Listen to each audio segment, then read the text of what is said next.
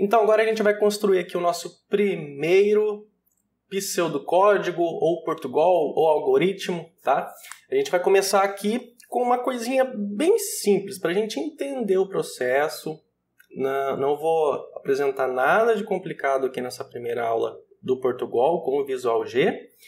E a gente vai aprender assim a coisa mais simples, mais simples, que é uma condição de, de notas aprovado ou reprovado. É a coisa mais simples quando a gente chega no momento de estudar Portugal, escrever algoritmos aí com o nosso chamado Portugal, que a gente é, representa ali o nosso bloco de, de, de, de, algoritmos, ou então escreve uma tarefa, tá? É, mais perto da, da língua portuguesa que a gente fala, já amadurecendo a nossa mentalidade para a linguagem de programação, que quando a gente for colocar a mão realmente em uma linguagem de programação, a gente já tem a nossa mentalidade de programador formado.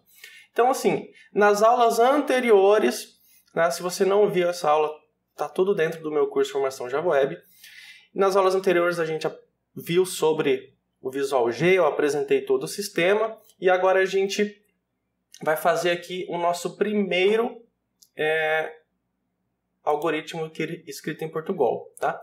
Então, primeira coisa, a gente já tinha visto que a, seção de variáveis, onde a gente vai colocar nossas variáveis, as variáveis carregam valores para a gente. Então, vou colocar aqui é, média final, tá? tem aqui a média final. Variáveis, variáveis normalmente a gente, para separar as palavras, para não ficar tudo junto, normalmente a gente coloca às vezes um, um, um underline para separar. Sempre em minúsculo já, já, já vão acostumando que é sempre em minúsculo e, e depois quando você separa uma palavra, você pode colocar aqui média final, tá? mas o, ou então dessa forma aqui, ó, média Aí quando começa a outra palavra final que fica mais fácil de ler. Não pode ter espaços, até porque as variáveis elas não podem é, ter espaço entre elas, senão não funciona. Não, não, o computador, a linguagem de programação, as variáveis não pode ter espaço, tá bom? Então, no caso, vamos colocar essa nomenclatura já dessa forma aqui. Dessa forma, ou com underline aqui, daí começa com F minúsculo também, é válido, válido também. O que eu mais uso é assim, iniciar a convenção já de uma linguagem de programação, que é a convenção. Convenção, quando se fala já é o padrão da programação. As variáveis sempre começam em minúsculo, aí depois é, o, a, a, a palavra daí, a próxima palavra, a gente coloca em maiúsculo, tá? Muita gente vai escrever assim também, também é válido, mas assim no caso seria identificação de objeto, quando a gente começar a falar de objeto mais lá na frente na parte do Java ainda, mas variáveis, já que é uma variável começa em minúsculo e pode juntar as palavras. Ah, no caso, se fosse assim, média final do aluno, a gente não, não, retira fora a palavra do e coloca só aluno, né? média final aluno. Tá? Então aqui a gente vai definir essa variável, dois pontinhos daí para a gente definir, vamos colocar inteiro, vai ser uma nota com valor inteiro. E aqui a gente vai atribuir no início daí do nosso bloco, do Portugal aqui, do, do pseudocódigo, a gente vai definir que a nota, a nota aqui, nesse momento tem um valor, então símbolo de atribuição que é menor, aí o hífen, o valor dela inicialmente aqui é 70. E daí a gente vai começar a escrever as condições. A gente tinha visto lá na parte de lógica de programação, nos módulos anteriores, toda a parte de condições, validações. Agora a gente vai iniciar mais basicamente com C, C não. C, verdadeiro. Né? Vai escrever que o aluno é aprovado. Né? C, a nota é maior ou igual a 70, então o aluno é aprovado. Se não, é reprovado. Então vamos lá. Então C, a gente as palavras reservadas, o Visual G ele escreve em azul, que ele identifica que são palavras que ele vai usar para interpretar aqui o nosso Portugal e transformar em um programa por trás para ele poder executar esse nosso bloco de algoritmo. Então vamos lá. C, as condições sempre ficam entre parênteses, aí se a minha nota tá, for maior, lembra o símbolo de maior, maior ou igual a 70, aí você vai dizer então, então faça algo. No caso aqui a gente escreve na linha de baixo, respeita a linha de cima com a linha de baixo, a linha do C é o pai, a linha do filho a gente dá um tab aqui e a gente vai colocar aqui escreva, escreva, daí vamos colocar o valor, o valor sempre fica daí entre parênteses. É um texto, um texto sempre fica entre aspas. Vamos colocar aqui, ó, aluno foi aprovado. Certo? Tem essa opção aqui, ó, do Run, rodar algoritmo. É, você pode clicar nele ou dar um F9 também. Dá um F9 no teclado ou você clica aqui. Quando você clica, tá? A condição, vamos ver.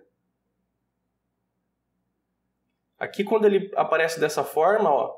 Ah, eu escrevi errado aqui, tá, gente? Ó, quando, ó, pode ver que ele mostrou aqui em vermelho, ó. Ele mostrou em vermelho, isso é um erro já.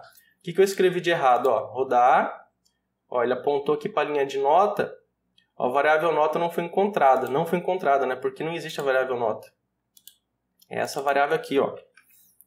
Acabei me confundindo aqui. Então, assim, é a média final. Média final. Então, se a gente, então, se a gente errar, ele vai alertar para a gente. Rodou, aparece esse console, ó, aluno foi aprovado. Aluno foi aprovado. Ele escreveu aqui, ó, aluno foi aprovado. Vamos simular aqui um erro, já mais um erro também, para vocês já, já irem é, desenvolvendo a habilidade de correção, não ficar assustado com erros que pulam, tá? Vocês vão ter calma e corrigir o erro. Isso é normal na programação, a gente está corrigindo o erro a qualquer momento. Então a gente tem que fechar. Pode ver que você que tentar clicar aqui, ó, não acontece nada. Então ele vai estar tá com esse console aqui aberto. Ó. Você tem que fechar ele, daí ele habilita daí para você mexer de novo no algoritmo.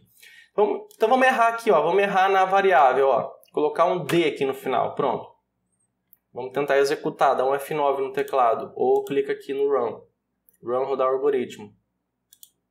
Ó, diz que essa variável aqui ó, não existe. Tá? Pode ver que eu coloquei um D no final. Aí ele vai dar mais uma mensagem para a gente. Olha lá, ele marcou a linha em vermelho, quer dizer que nessa linha aqui tem um erro.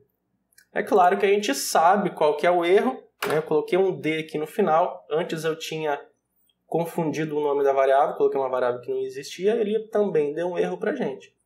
Então, quando acontecer algum erro, ele vai mostrar para você, ele vai marcar a linha em vermelho. Vamos colocar aqui de novo, ó. ele vai marcar a linha em vermelho.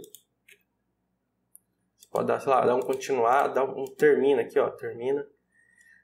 Tá? E ele vai marcar aqui pra gente, ó. Um de novo, aí termina, ok. Agora ele não marcou em vermelho. Vamos ver se a gente consegue simular de novo aqui. Rodou o algoritmo. Ah, não marcou em vermelho, mas se ele não marcar em vermelho, tá? Eu, você leia com calma aqui também a mensagem que ele vai dar, ó. Essa variável está dizendo aqui, ó, que não foi encontrada, tá?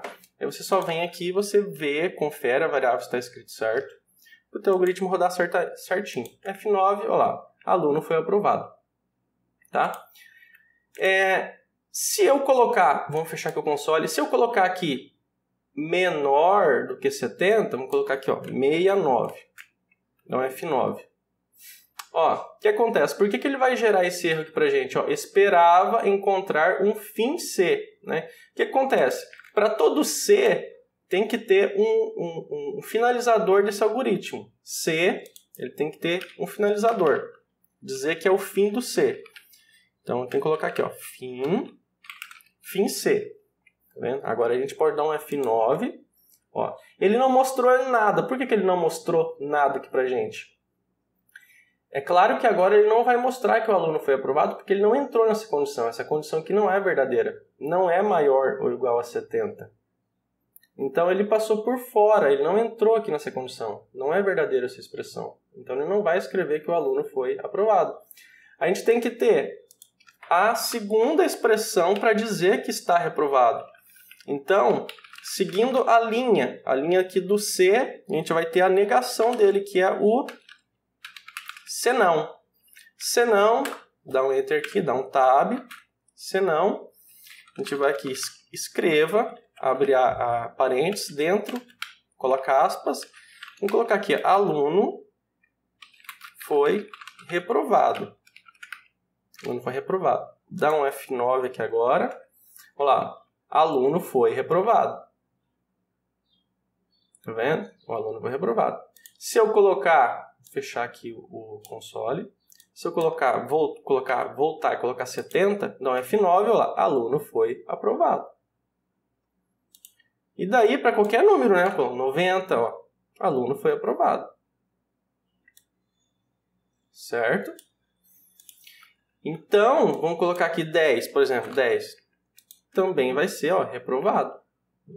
Então, ele só vai satisfazer essa condição do aluno aprovado se realmente essa expressão for verdadeira. Se a nota for maior ou igual a 70. Daí ele vai ser aprovado. Caso contrário, se não, se não ele vai escrever que o aluno foi reprovado. Então, aprovado, se satisfazer a condição, C, C, média final maior ou igual a 70, então escreva para mim que o aluno está aprovado. Se não, se não, caso contrário, escreva que foi reprovado. E o fim. Sempre tem o fim C, que é o fim dessas condições. Ah, então, assim, muito basiquinho, a coisinha mais simples que existe na programação, escrevendo aqui em Portugal, já para a gente ir já amadurecendo, aquecendo o nosso cérebro, e daí agora a gente vai começar a colocar um pouquinho mais de complexidade aqui dentro do nosso é, algoritmo. A gente vai avançando, vamos avançando, avançando, tá? Vamos deixando mais complexo e, e assim vai, tá?